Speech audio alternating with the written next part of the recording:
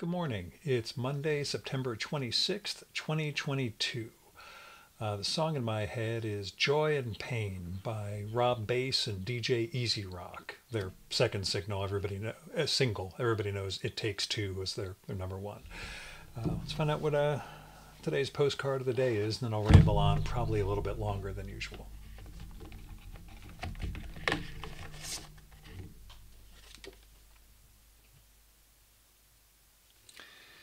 That's Eva Hesse's Repetition 19, number 3. Fiberglass polyester resin, 19 units, each 19 to 20 and 1 quarter inches in diameter. That's modern art. Uh, today is the start of the Jewish New Year, so happy Jew Year to, to everyone. Um, I have some semi sort of resolutions in mind, but uh, it looks like the number one thing is that I'm still going to be a big goddamn Boy Scout. Um, over the weekend, I found out that one of my past pod guests, who's this legendary cartoonist at the New Yorker, Ed Koren, um, well, he's dying.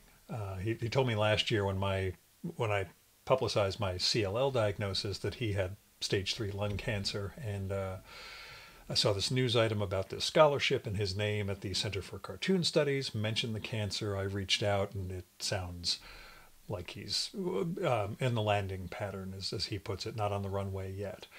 But um, I talked to him yesterday, and in all likelihood, I will be driving up five hours to Vermont to see him for half an hour or an hour or so, and then turning around and coming back sometime in the next week.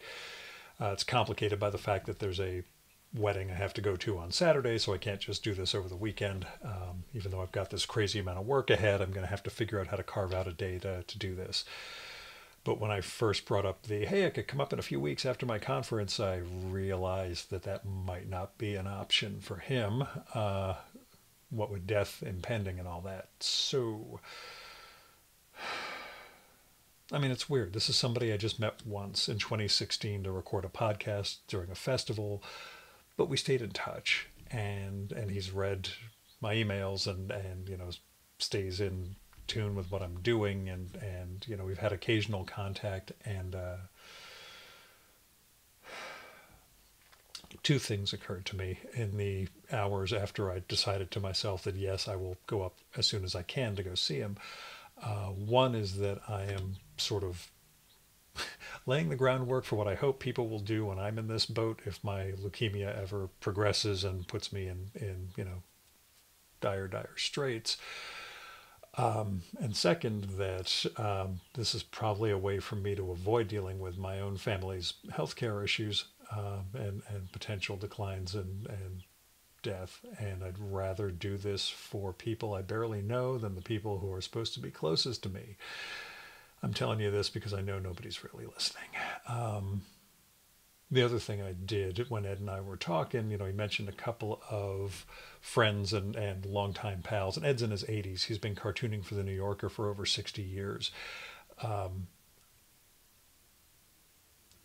I reached out to a few of those pals who he mentioned wanting to, to stay in touch with or get back in touch with um, with the hey, you should talk to Ed uh, sometime really, really soon. And one of them, it turned out, didn't know about Ed's lung cancer. So, given the fact that he'd known Ed for decades and that Ed had, in fact, introduced him to his wife, he was very, very thankful that I, I reached out like I did. Anyway, the long and short of this is uh, Gil's new year means he will continue being a big goddamn Boy Scout, no matter how much of a shitheel he thinks he is on the inside. So one of the things about being a good person is you can still be resentful about doing good things, and I, I really try to strike that balance. Anyway, I've got a really tough week ahead of me, so um, I hope you guys have a wonderful day.